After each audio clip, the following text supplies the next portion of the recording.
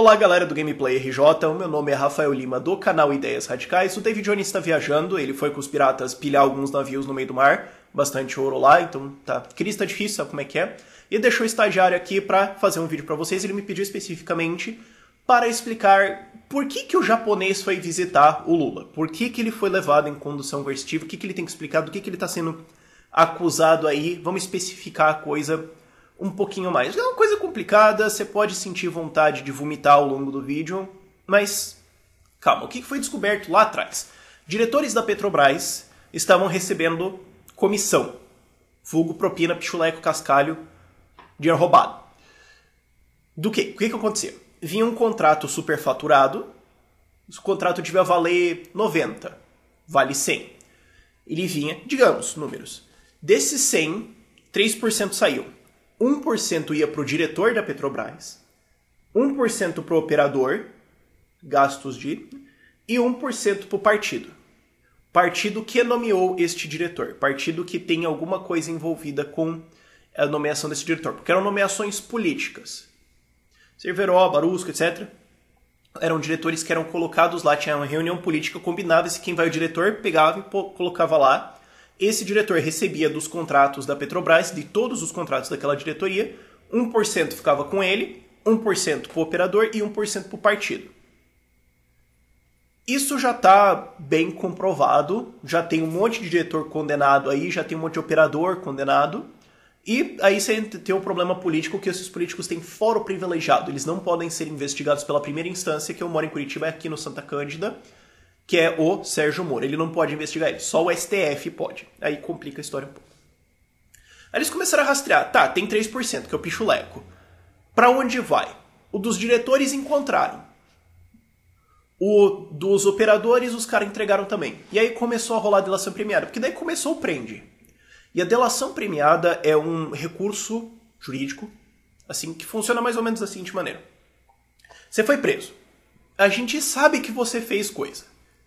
Então, assim, X-Noveia, entrega os caras. Você tem a opção de fazer uma delação premiada. Você vai ter que entregar fatos, você vai ter que. E não adianta falar o que a gente já sabe, você tem que entregar novas coisas. Você tem que falar novas informações que a gente não sabe relacionadas ao seu crime.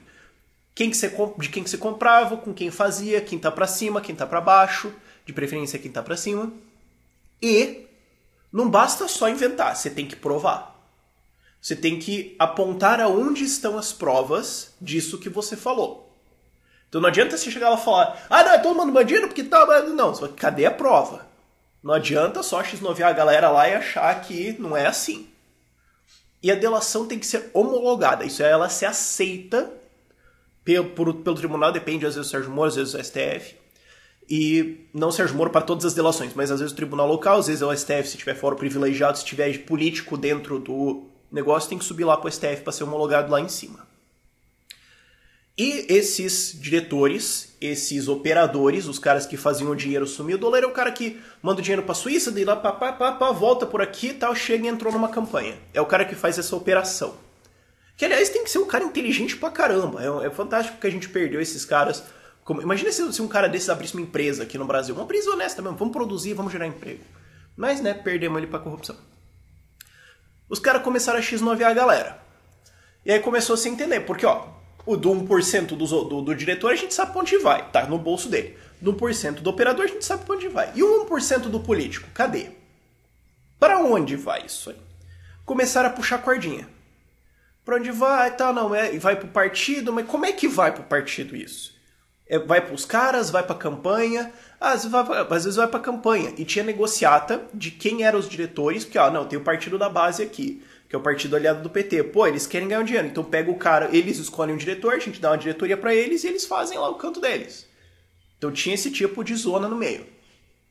Aí vamos ver, pra onde tá indo o dinheiro desses políticos? Ia pra campanha, ia para políticos, ia pra um monte de coisa. E aí começou o facão. Aí começou o pânico em Brasília e foi se puxando, eventualmente chegaram no que era o tesoureiro do PT, João Vacari. Porque tinha dinheiro nele. Que ele ia lá, na UTC, se eu não me engano, pedir com a mochilinha dele, ele ia de mochilinha. Imagina o João Vacari ter mochilinha ali. Ia na UTC pedir o pichuleco para pagar. Diz que ele tinha uma conta, uma conta informal, ó, você me deve tanto. Isso é o que está sendo assim. Eu não posso falar que era, porque tem coisas que são acusações. Então, se eu falar que é e era uma acusação e não está provado, eu posso levar um processo. David Jones também, aí não fica legal, né? Então tem que falar que ó, é o que é acusado. Tem que dar esse eu não sei. Pode ser, pode não ser, pode estar errado. Pode ser intriga da oposição, pode ser tudo uma conspiração da CIA. Fazer o quê, né? Não pode falar que foi isso. Enfim, você pediu o pichuleco lá. Bom, então tá, então o dinheiro vai pro caixa do PT. Ele tá, já tá preso, tá condenado. Bom, então pra onde vai? Como que vai? Diz que ele tinha uma conta lá informal que é quanto você me deve. Ah, você me deve, ó, tem que teve tal obra, teve tal obra, então dá aí uns 50 milhões, então a gente quer 50, deixa quer 30 aqui, quer 20 ali, tá bom? Beleza? Então faça acontecer, adeus. E era assim que funcionava. E ia para políticos, ia para campanha, para isso, ia para aquilo, vamos puxar para onde vai. Começaram a puxar. E, bom, peraí. É um esquema. Tinha um José Dirceu no meio que já tá preso, já tá condenado. Recebeu um monte de dinheiro na consultoria dele, milhões de reais, dezenas de milhões de reais na consultoria dele. Não consegui explicar. Preso tá condenado. João Vacari tá preso tá condenado. Apareceu o Palote no meio. Apareceu uma galera no meio. Pô, então quem que manda nisso? Fernando Henrique Cardoso? A CIA? A conspiração reptiliana? Olha, eu acho que quem manda nisso aí deve ser o Nine, né? E começaram a puxar, a gente quer chegar nele. E as empreiteiras começaram a fazer delações. E outros caras foram delatando e apontando direções. Até que se sacou, pera. Várias delas são clientes de uma empresa de palestra que o Lula tem, que é Lilis. L-I-L-S. Pô, não podia fazer uma sigla mais fácil de falar, podia falar LOLs. Mas enfim. É, várias delas compravam palestras do Lula. Essas palestras foram feitas? Tem provas? Cadê? E várias delas doavam para o Instituto Lula. Sim, existe o Instituto Lula. Ué, doava por quê? Não, todo mundo pode doar. Mas por quê? E foi, começaram a observar que quando comprava-se uma palestra, pagava a palestra, pagava todas as despesas de palestra e, e fazia uma doação para o Instituto Lula também. Juntinho ali. Você fala, ué? Tá estranho, né? E aí também apareceu o triplex do Guarujá. Qual que é a treta? Nossa senhora, esse vídeo vai ficar louco. Qual que é a treta do triplex do Guarujá? Tinha um esquema de compra. Isso era uma empresa legal que era Bancop, que era em São Paulo, operava na Grande São Paulo. Que era assim, ó, você comprava o prédio, você comprava um apartamento de maneira geral. Você comprava um apartamento assim na planta, aí quando juntava dinheiro, construía o prédio e erguia. O troço quebrou porque era um golpe. Quem que era o tesoureiro desse troço? João Vacari. E um monte de gente tomou o cano na cara e ficou sem prédio. E a OAS, uma das empreiteiras, assumiu certos prédios, possivelmente com o dinheiro do FGTS dentro, e construiu alguns prédios. Quais? Ah, pelo jeito, se você era petista e tinha um prédio, a OAS assumiu esse prédio e construiu. Pois é, que coincidência, né? Pelo jeito, é o que é acusado. Falta provar ainda, então na investigação. Um deles, um prédio enorme, tinha, um, tinha triplex, tinha uns triplex nele, lá no Guarujá. Aí beleza, então construíram o prédio lá e a Receita Federal ficou meio, ué, mas de quem que começou a se acusar, começou a vazar informações de que tinha um triplex lá dentro que era do Lula. Bom, se o triplex é do Lula, tá na declaração de imposto de renda dele lá, e ele pode provar que ele tinha os recursos para comprar esse triplex, beleza, você ganhou um salário, você economizou dinheiro, você comprou, tá, tudo certo. Não tá na declaração de imposto de renda dele, não tá no nome dele, tá no nome de quem? Da OS. Ué? Mas por que, que o Lula vai lá então?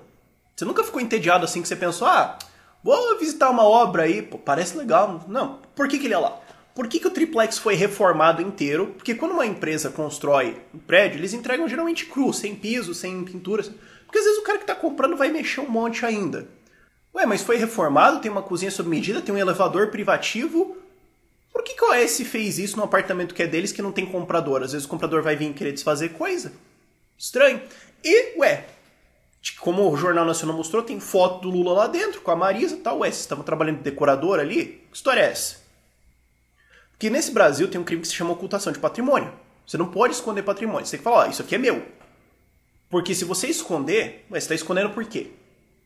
teoricamente, quem, quem, não, quem não deve não teme. Certo?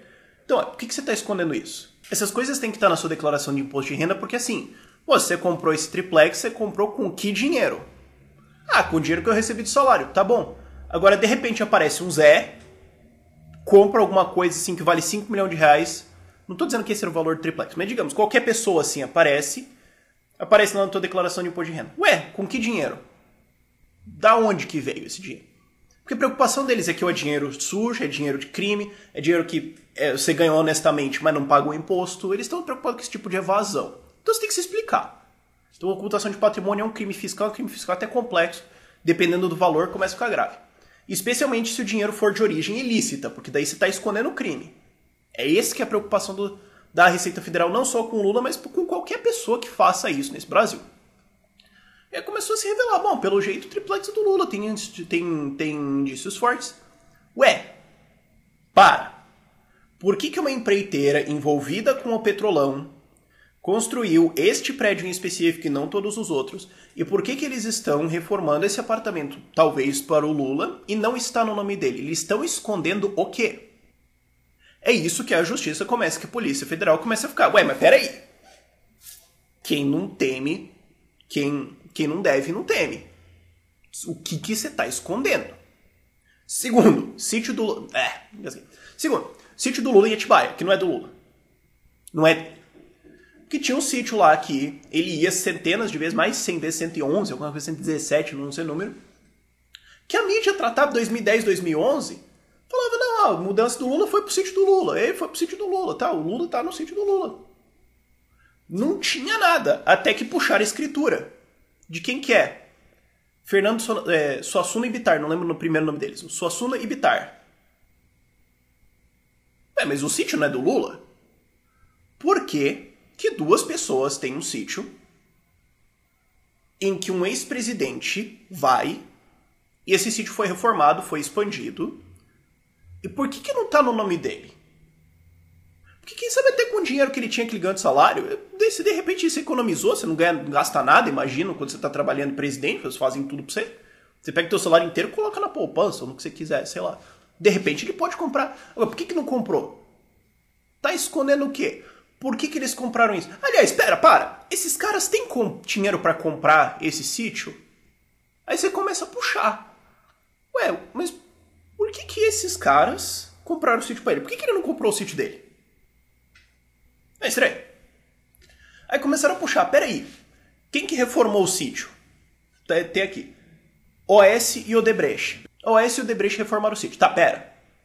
Duas empreiteiras envolvidas no petrolão com roubo de dinheiro da Petrobras em contratos superfaturados, com diretorias de apontamento político, com corrupção dentro, reformaram o sítio de um ex-presidente que era um cara que poderia avalizar ou não os apontamentos desses diretores. Pera. Tá estranho? Por que, que elas reformaram o teu sítio? Você pagou elas? Ou elas reformaram de graça? Porque, não, elas podem. Uma empresa pode chegar e falar: olha, presente, a gente vai reformar sua casa. Tá. Agora, quando você tem todo esse quadro, começa a ficar estranho. Começa a ficar estranho. Aí você olha e fala, não, mas espera aí, a OAS também contratava a palestra do Lula, também fazia doação para o Instituto Lula, e foi revelado agora, pagou o armazenamento de parte da mudança do presidente, quando ele, do ex-presidente Lula. Quando ele saiu lá do Palácio do Planalto, tinha uma mudança enorme, tinha containers um atrás do outro, uns 12, eu acho, se não me engano o número, 11 ou 12. E parte foi pro triplex, que não é dele, parte foi pro sítio de Atibaia, que não é dele, parte foi pro Instituto Lula, que é dele, mas estava armazenado no armazém que era pago pela OS. Vem cá, por que, que uma empreiteira. Você está entendendo como é que começa a ficar estranho? Se fosse qualquer cidadão brasileiro que está nesse arranjo estranho, a Polícia Federal ia aparecer na casinha dele e falar: oh, cara, você não quer explicar isso aqui? Tá meio difícil de entender. Não tá entendendo? E aí, em cima disso, você tem o Debrecht, que também doava para o Instituto Lula. A empreiteira Queiroz Galvão, que também contratou palestra e doava para o Instituto Lula. Camargo Correia, mesma coisa. Andrade Gutierrez, também Andrade Gutierrez, essa. Que delatou, que pagava, que pagou é, conta por baixo, caixa 2, da campanha da Dilma em 2010. E que delatou que em 2014 comprava pesquisa de opinião. E a UTC também contratava palestra, doava para o Instituto Lula e também está envolvidíssima no Petrolão. Por que, que ele está se associando com tantas empresas, sendo que ele é o ex-presidente da República de um partido que tem todo, todo o poder para nomear esses diretores?